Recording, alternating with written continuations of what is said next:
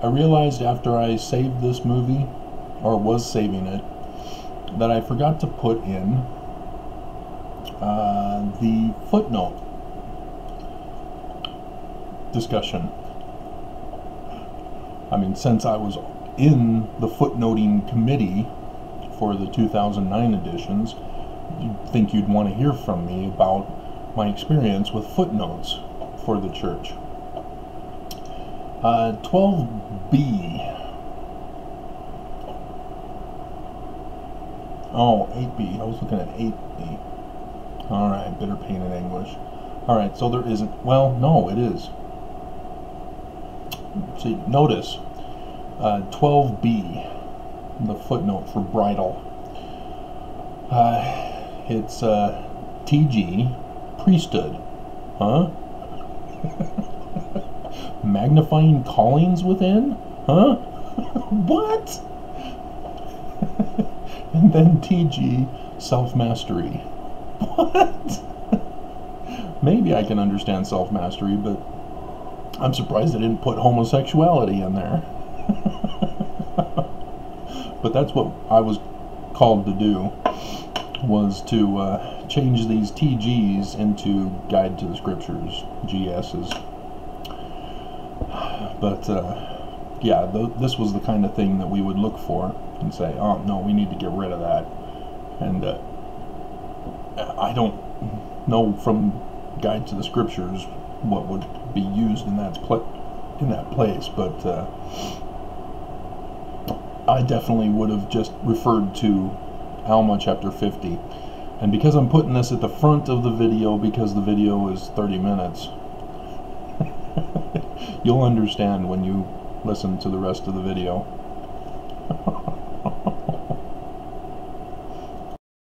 Travis Wayne Goodsell, it's another day, another morning, another nightmare because the church is not shut down. Travis Wayne Goodsell, born and raised Mormon, going on 50 years. So I know, as my testimony, that the church is false. Uh, this video is about bridling your passions. All Mormons believe that this only refers to the law of chastity. And I'm here to tell you it's wrong. There's only one instance in all of Scripture where we are, uh, well, the story character is given the commandment to bridle their passions. Alma 38, verse 12.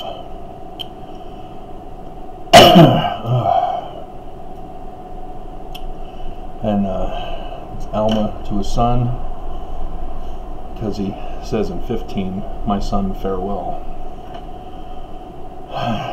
He says in verse 12, Use boldness, but not overbearance. So I heard about that in my mission field because this scripture with bridle your passions was used, and so missionaries didn't want to talk about passions in the sense of what goes on down there they instead said, oh, boldness oh, and overbearing. We'll talk about that. And then we'll quote the scripture so that the other part gets thrown in also. And see also, and also see that ye bridle all your passions, that you may be filled with love. I thought love was unbridling your passions. Again, if you know, if you don't know Greek, you don't understand the joke. See that you refrain from idleness, used as laziness rather than idol worship. then he goes on to say, Do not pray as the Zoramites do, Mormons. But uh, passions, what does that mean? See, when our current society uses the word passion or passionate, our passions. We don't think of the 1800 definition of the word because there's other places in the Book of Mormon, even, that uses the word passionate. Passionate. Whoops. Okay, not passionate.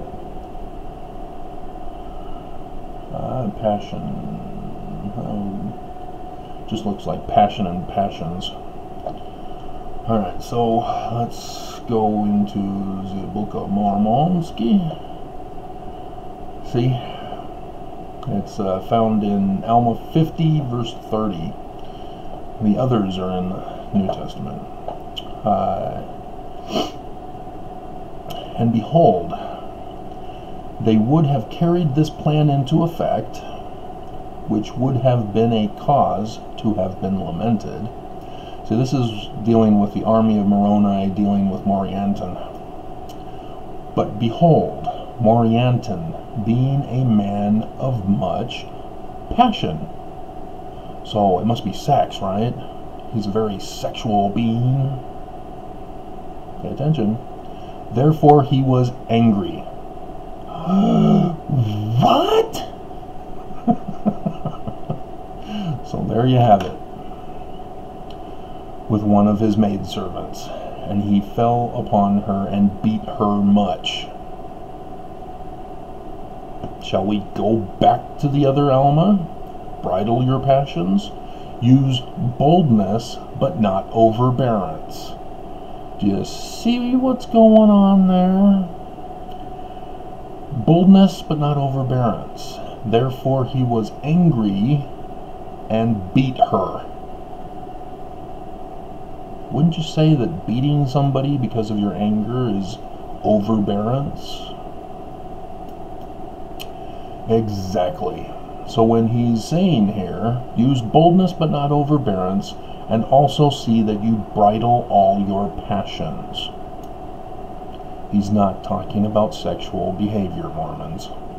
Oops! And Boyd K. Packer should have known better since he graduated from high school. Didn't he go on to get other degrees too? Or was he just a Mormon for life? And so, yes, now that I've exposed the con of Mormonism, now it's time to rip it to shreds and cut it by its jugular. If you saw the, well, you saw already the picture I put at the front of the video, I have it on there for me to remember to have it for you so that I can just put this video after it that uh, the bridle is for horses to domesticate them, to control them. Now, do I need to go? Yes, I do. And talk about Lucifer's plan of happiness. What is Lucifer's plan of happiness? Control, dominion, unrighteous dominion and uh, taking away agency, putting people into bondage and slavery into obedience. That's similar to the use of a bridle. And of course, you've got the animal activists who, who insist that domesticating horses is an evil thing to do. but it's worse when you talk about humans in such a manner because it's used for horses.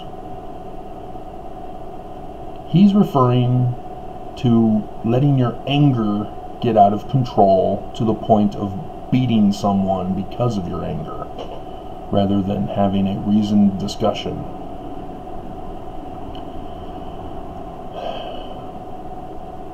When you use a term that's used for animals, for a human, you are abusing that human. You're not bridling your passions. Because you are now uh, referring to a human as subhuman. You're referring to them as an animal.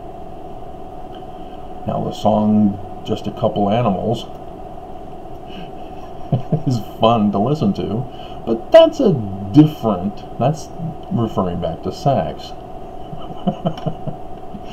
And it's inappropriate, even in that case, to call us animals when we're doing what naturally comes to our bodies. Just like if we eat on a regular basis, you guys are animals for eating. Do you know what I mean? It's something we have to do in order to survive.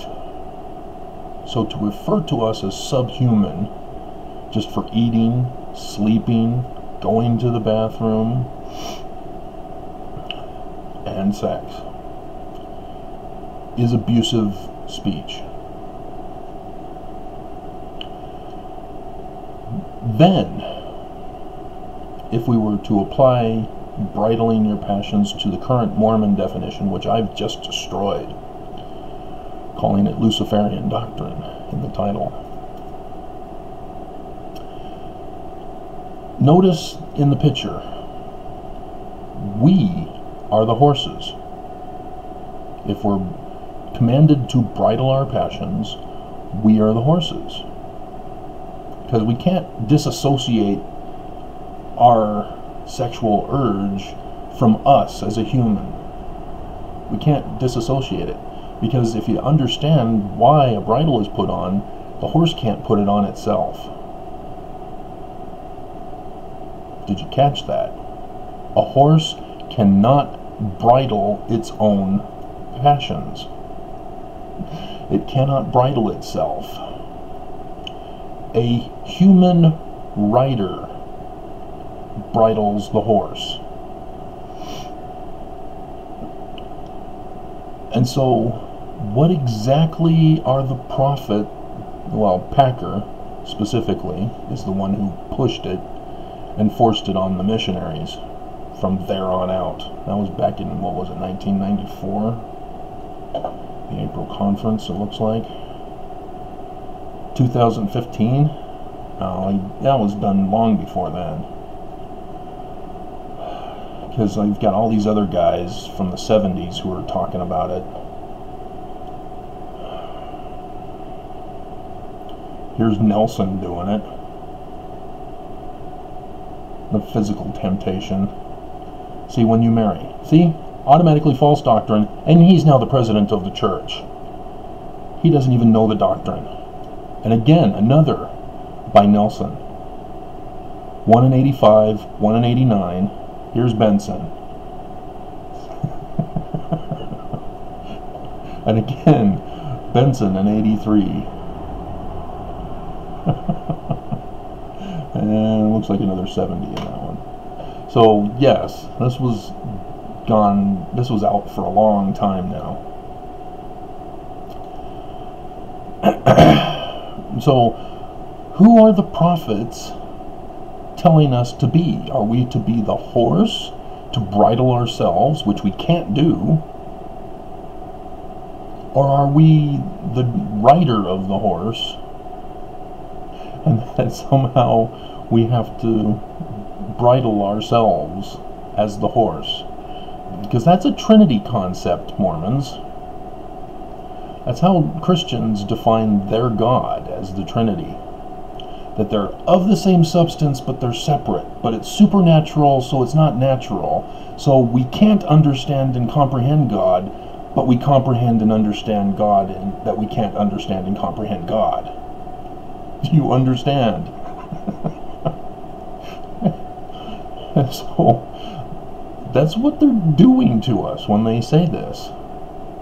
Because this is just pure Luciferian doctrine. Lies and falsehoods to control and dominate over those who you are trying to dominate unrighteously. And uh, and so I hope by showing you that it's an incorrect definition of passion that all of you will now go, oh, oh.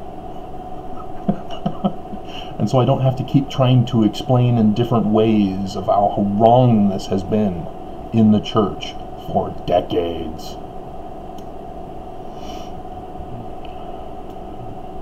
See, this is why what happens when you don't study your scriptures.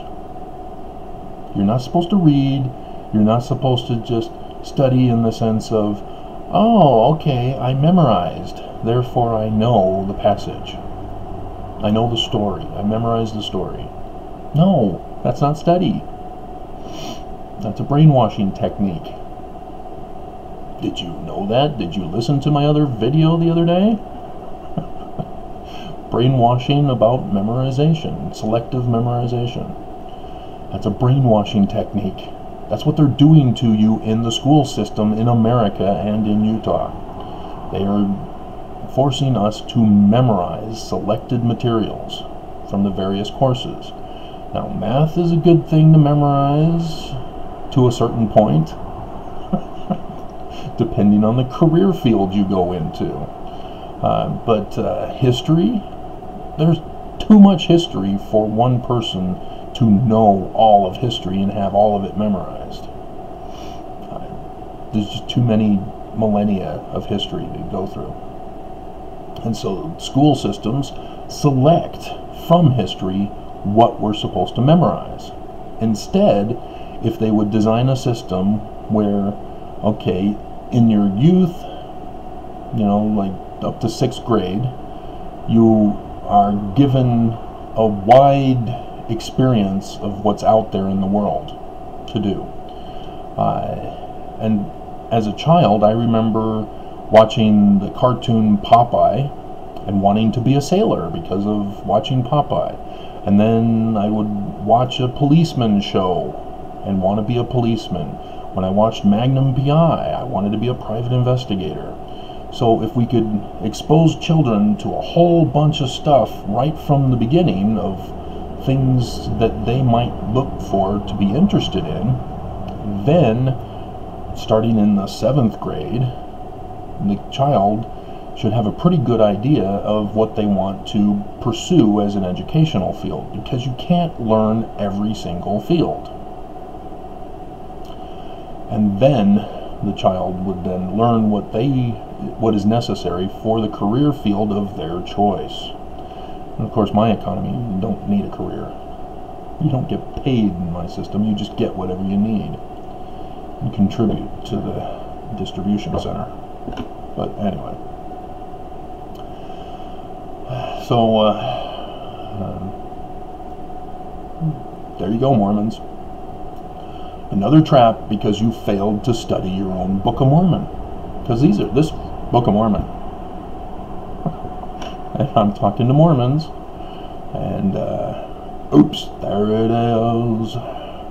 And so, again, the topic of sex in regards to Mormonism is a hot topic.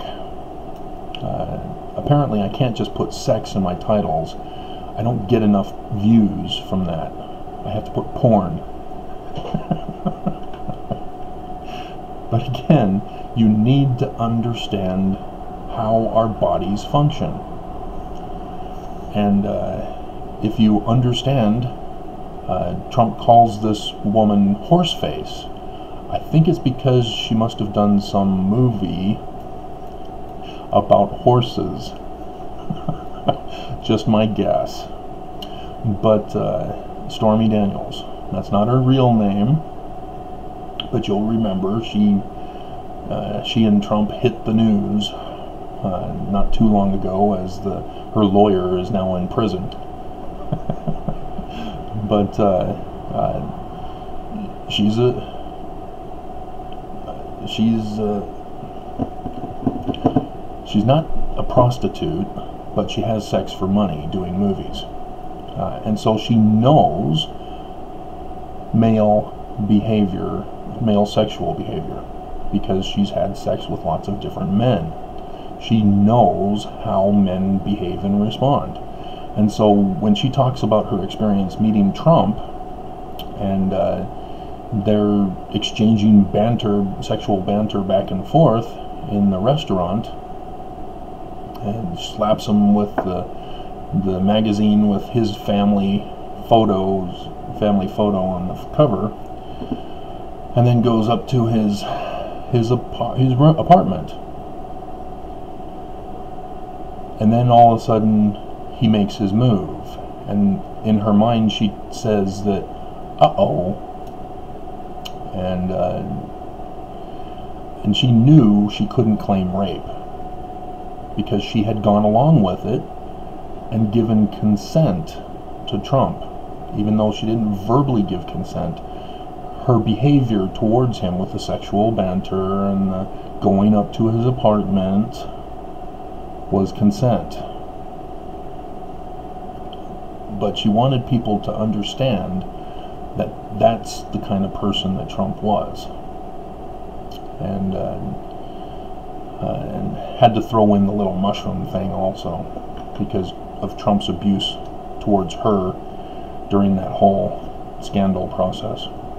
Uh, but uh, both men and women need to understand each other's bodies and how it functions, how it works. And in so doing, we can make sure that we don't put ourselves into a situation where we can't stop.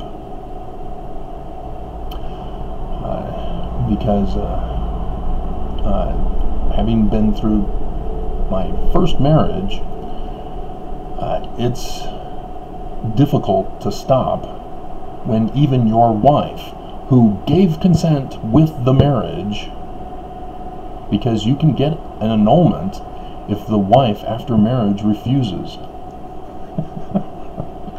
because the law understands this, that marriage is consent.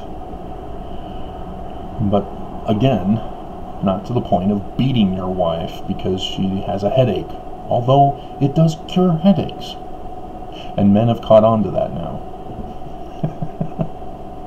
so women have to look for other excuses to refuse. But again, why are you refusing? Why are, but uh, there, there needs to be education, and it's not being given. And it's causing lots of problems, and the church leaders are using that lack of education to exploit and and take advantage of Mormons. Because passions as used in the Book of Mormon is given the definition in Alma chapter 50 verse 30 refers to anger to the point of beating someone, physical violence.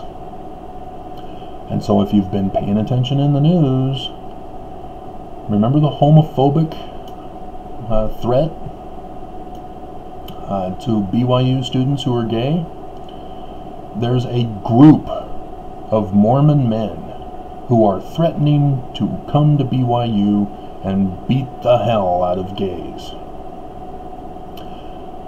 They're not bridling their passions. There was also the 64 Mormons who ganged up on one of their own, a Mormon missionary from out of state, out of country even, who was called to serve in the Utah mission. Can't remember which county it was. But uh, because he was black, the 64 Mormons, even though he was Mormon, they still beat the hell out of him. And then I saw on ABC4 News the other day that there was another man who uh, used violence as part of a hate crime. Mormons are not bridling their passions.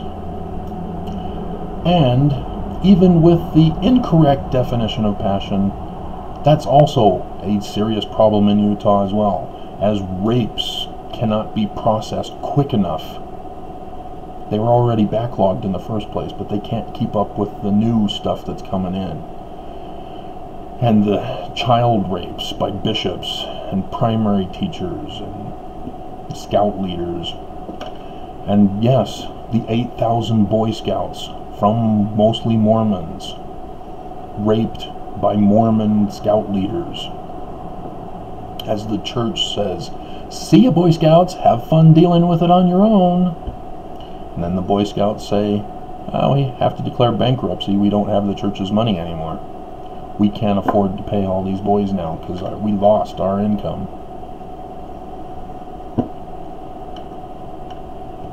When will people wake up? When will Mormons wake up and realize that the Church of Jesus Christ of Latter day Saints is false. They're false prophets. By their fruits ye shall know them. This is how it works. We will liken the word unto a seed. The word is the seed. What's the fruits? It's the physical manifestation of the word. So when uh, Packer, Benson, Nelson talk about bridling your passions in reference to sex, we now can see the fruits as being false. Therefore, all those prophets are false. That's how simple it is. That's what we were supposed to do, Mormons. Use the Book of Mormon as the standard measurement for the Mormon prophets. But then Benson comes along as an apostle and speaks at BYU talking about the uh, 14, 17, 11, whatever number of, of, of conditions of a prophet of God. Yeah, no, false. Again, compare it with the Book of Mormon. In that listing he gives, he says the current prophet is more important than the Book of Mormon and more important than the words of Jesus. Did any of you catch that? No, you didn't. You just used it as an excuse to get away with whatever you want until the prophet comes down and says you can't do that. And then you just say, well, I'll just wait until the next prophet and wait for him to then say it. My God. All right. So it's going to be a wild and crazy day. Uh, as an update, since I'm not going to do a video update of this, the lawsuit I have against the church, I've, I'm, I'm checking out other ways to get this lawsuit finished and going, at least. And I think I may have found a way that doesn't cost me anything or too much. I still have to. Uh, anyway. So, uh, yeah, it's. Uh, once my case gets known, all hell is going to break loose. You thought the 100 billion scandal in tithing was a big deal? You thought Gaddy versus COP was a big deal? You thought the 32 billion that was reported by Fox 13 News' Max Roth in May of uh, 2018 was a big deal? You didn't even know about that, did you? Or the the 40 billion that was reported uh, in regards to uh, the investments at Ensign Peak, not the other investments they have, just at Ensign Peak. Again, watch my videos. Uh, mine will shake evil to its core. And uh, I mean, it's just going to be shocking for the world to find out what the church has done to me. Just me alone. And so, uh, yeah, the church has nowhere to run other than a non extradition company and taking their trillions with them. So, uh, yeah, I'm I'm looking into that, and uh, tomorrow, as people go back to work, uh, I'll be getting answers to emails and questions and searches and other stuff that I'm working on. But we will bring down this church to its knees, and then, well, it should do the honorable thing and kill itself. Let's just put it that way. Is it Japanese or Chinese? I think it's Jap. Well, no, it's Japanese uh, because of uh, uh, the Tom Cruise movie, uh, as he was in uh, Japan, uh, Japanese samurai. I think it's Chinese samurai. Or is it? I'm pretty sure it was Jap- Japan. Hmm. Oh well, whatever. Whatever that cultural tradition is, where it's the respectful, honorable thing to kill yourself. and the reason why I'm thinking about that is uh, because of Blacklist. There was an episode not too long ago that I saw that involved that. so have hope. Pray to whichever God you pray to. It's not the Mormon God. And uh, we'll get this done.